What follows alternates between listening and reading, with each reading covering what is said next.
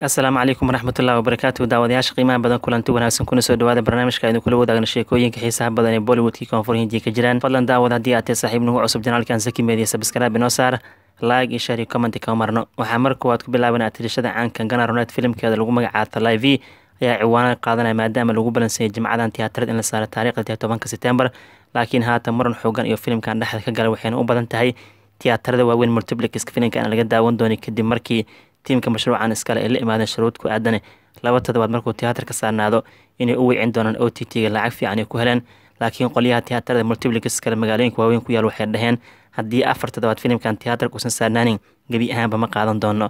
Marka thaliv maran xoogan dhexda ka galay waxay u badan tahay single screenska in laga daawan doono taasina dan uguma jir tiim iskale macaash badan kama heli doonaan. Saa darteed waxaa haatan kooxda filimkan iskale iyo qolyaha tiyaatarada iskale waxaa u socda wadaxaajood waxaa laga yaabaa dabcan intaan la gaarin jimcada heshiis in la gaaro. Si kastaba ahaata filimka taliv waxaa le waxaa u fiican tiimka iskale inay qaataan go'aan geesinimo ku dhehan oo filimkan tiyaatarada laga daawado afar toddobaad u dhaafaa nadiif ah maadaama uu yahay filim lagu daawan doono. Dhammaan luqadaha kala duwan ee hindiya af hindiya af tamiil af taluga lagu daawan doonaa. Sababtoo kan waa filim weyn oo looga hadlaa nolosha jalaayati atirashadii ku weyn ee dhankaasi. Marka la fiish koonfur hindiya reer tamiil aheyd sidoo kale dabcan subarstaarad weyn aheyd oo geeriyootay sidoo kalena ahaan jirtay wasiirad laga dambeeya. Marka kan ganaroneed waxay diyaar u tahay noloshii jalaayati shaashada inay ku matasho qof kastaa sugaya marka filimka taliv waxaa laleeyahy marka tiimka filimkan iskale cabsidaa iska dhaafaan ha ogolaadaan afar toddobaad masrax inuu saarnaado kadibna uu wiciyaan o t t ama ha qaataan go'aan geesinama ee gebi ahaanba tiyaatarka iska dhaafaan oo dabcan si toos o t t-ga u saartaan. Waxaa laleeyahy caqli shaqeynaya ama inay la imaadaan sharuud ah laba toddobaad keliyu filimkan tiyaatarka saarnaana waxaan u wecinna dhanka o t t-ga markaana soo qaadana daawadayaasha qamada dhankaas iyo tamiin la duwo fankooda uu soo laabtay waxaa la rajeynaya toddobaadkan wixii ka dambeeya aflaan kala duwo masrax in la saari doono laakiin isku dhaca weyn wuxuu jiri doonaa feestada diwaali oo ku beegan afarta novembar waxaana isku dhici doonaan labada superstar ee awooda badan rajnikanti iyo sidoo kale ajid kumaar ama thala ajid kumaar ajid kumaar filimkiisa falimay haatan shaq ahaan waa la soo gabagabeeyey waxaana lagu dhawaaqi doonaa maalmahan lagu soo foolle in la daawanayo toddobaadka diwaali kun laakiin hore waxaa u doortay wakhtigan feestada dahabiga ah. Superstar rajnikanti oo loo yaqaano jestoli filimkiisa anathi oo shaqo ahaan dhammaaday waxay noqon doontaa mar labaad xasuus in dib lagu laaban doono markaasoo dabcan rajnikanti ajid kumaar feestadii bongaal ku dagaalameen. Xilligaas waxaa guuleystay ajid kumaar markii laga hadla dhulweynaha tamiin ladu oo keliya sababtoo filimkiisii fiswasam wuxuu noqday oltan blackbaster sidoo kale rajnikanti filimkiisii betan wuxuu noqday superhido noqday. Weliba waxaa la diiwaan geliyay wakhtigaas labaatan iyo toddoba sano kadib in la helay atoore dabcan boxofiska tamiin ladu ama colwood kaga awood badiyay rajnikanti markaasna waxaa noqday ajid kumaar inkastoo markii la firay fiswasam iyo beta ganacsiga guud markii loo dibad iyo dal la isku daro worldwide garooska u badnaa filimka это haddana fanka tamiin laduu keliya ama dhulweynaha tamiin laduu xarun u taajinaay waxaa ku lacag badnaa filimka fiswasam saa darteed waxaa la ajid kumaar kalsooni isku qaba mar kaleeto kan ugu saameynta badan tamiin laduu inuu maslaxa kula dagaalami doono. Laakiin haatan qolyaha ganacsiga aflaanta ka faaladaan waxay leeyiin waqtigan waqti ku haboon ma ahan in valimay iyo anaathe isku dhacaan maadaama fanka tamiilka dhulka uu galay tan iyo saameyntii covid nneteen waxaa laleeyahy waxay u baahan yihiin labadan superstar in la kala weeciyo. Tusaale ahaan oo kale rajnikanti feestada diwaali loo daayo ajid kumaarna uu qaata feestada christmas. Markaas waxaa leeyahy fanka colwoodka barwaaqay geli karaan oo labadan superstar waxay awooda mid walbo filimkiisa blackbuster inuu ka dhigo dadkan uu ku qasba tiyaatarka inuu soo aado. Marka waa macquul in la kala weeciyo isku dhacan haatan loo biro tumanayo ku aadan rajni sir iyo thala ajid kumar. Mar kale tiyaatarada inay ku dagaalamaan sheekooyinka dhankaasi tamiil markii aan boor ka jifna ciwaanada waxaa qaybka filimka enemy oo dhammaanteen wada sugan ku xifaaltami doona fishaali arya asigana waxaa lagu dhawaaqa feestada duseera in la daawanayo. Feestada duseera marka hore waa laga cabsanaya sababtoo filimkii tribal ara xirtay saddex tobanka ilaa shan tobanka octoobar waxaa jirta feestooyin waaweyn duseera loo yaqaano.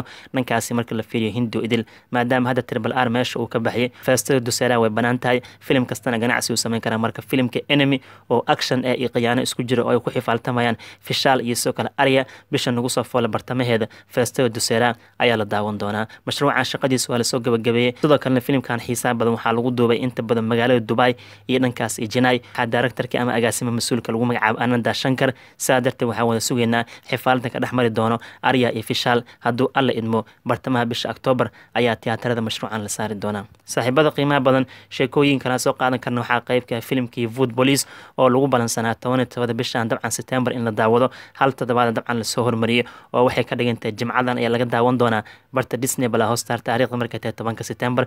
Filimka lagu magacaabo vood police oo cabsiya shactiri isku jira ah waxaana hogaamiyaalka asaaf calaqaan iyo arjun kabuur waxaana garab taagan jacquelin fernandes iyo yami gowtam. Kani waa filim shactiro badan ilaa imigos goosgooskiisa waa laga helay.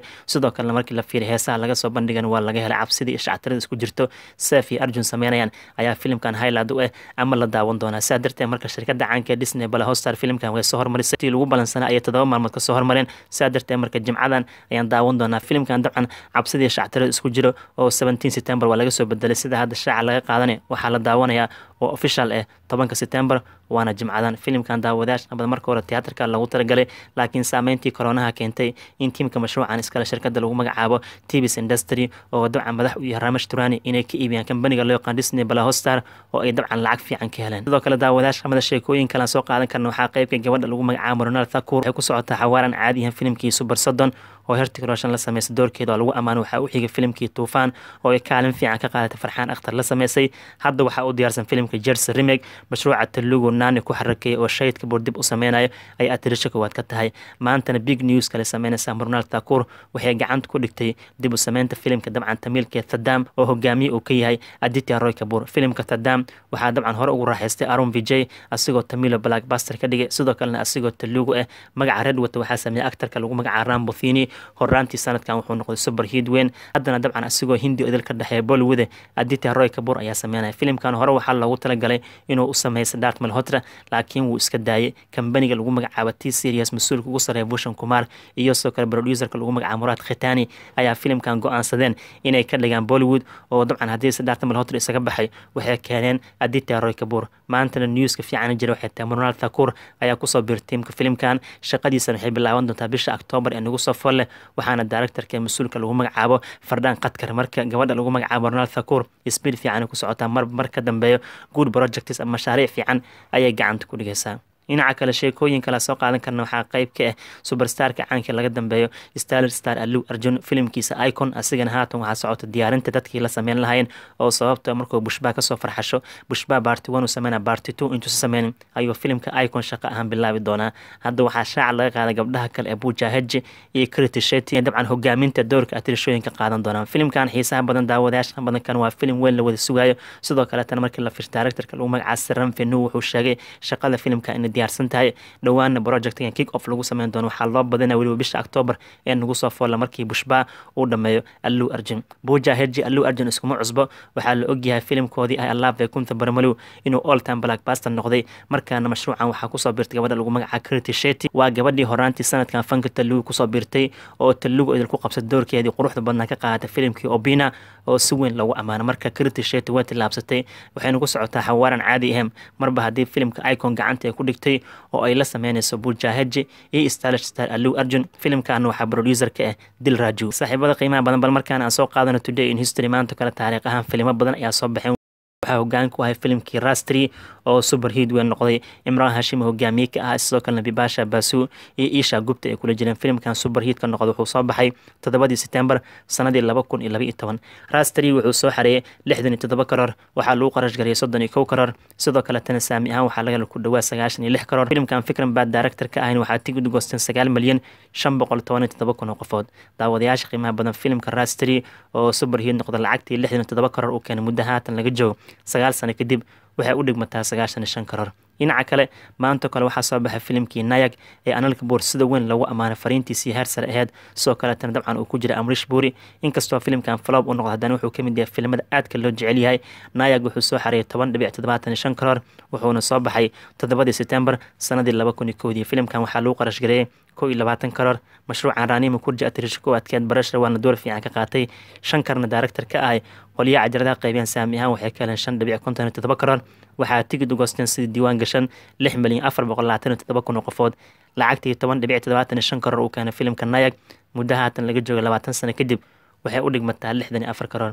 Dhinaca kale nayag waxay isku dhaceen filimkii goovinda uu sameeyey sidoo kalena ay kula jireen taabu iyo buuja batra ee lagu magacaabo dilna viryadkiya asigana wuxuu noqday filim burburo disaster wuxuuna soo baxay toddobadii setembar sanadii laba kun iyo kowdii filimkan burburay wuxuu soo xareeyay toddobaatan lag iyo bar iyadoo lagu qarash gariyay saddex karoor. Sidoo kaleetana filimkan waxaa saami ahaan laga helay afar labaatan lag. Waxaa sidoo kale tigid goosteen shan boqol iyo lix kun oo qofood. Lacagtii toddobaatan lag uu keena filimka lagu magacaabo dilna viryadkiya muddo haatan laga joogo labaatan sano kadib waxay u dhigmataa shan karoor.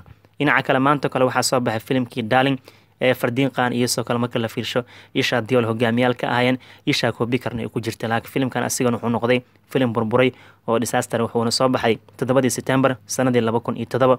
Wuxuuna soo xareeyey laba dhibic sagaashan karoor iyadoo lagu qarash gariyay lix karoor iyo bar. Saami ahaan waxaa laga hal dhibic toban iyo saddex karoor. Sidoo kalena waxaa tigid goosteen lix boqol afartan iyo sideed kun oo qofood. Lacagtii laba dhibic sagaashan karoor uu keenay filimka darling afar iyo toban sano kadib waxay u dhigmataa lix karoor. Ugu dambeyntii maanta kale waxaa soo baxay filimkii dagaalka ahay ee ka hadlaya qadiyadda dagaalkii dhex indiya iyo china.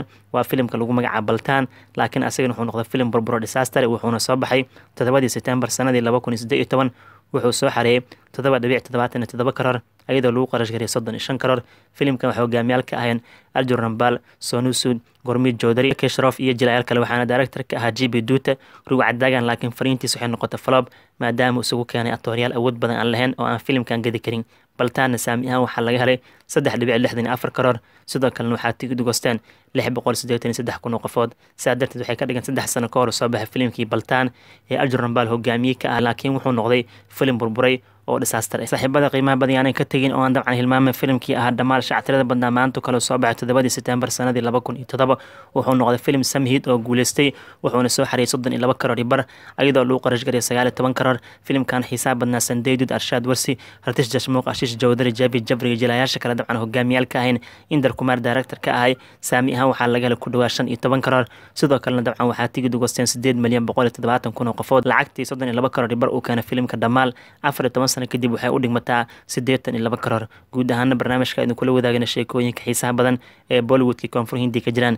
Intaasaan ku soo ilinana fadlan daawad haddii aad tahay saaxiib nagu cusub janaalkan sabskraaib inoo saar like iyo share iyo kama marno. Asalaamu calaykum waraxmatullahi wabarakatu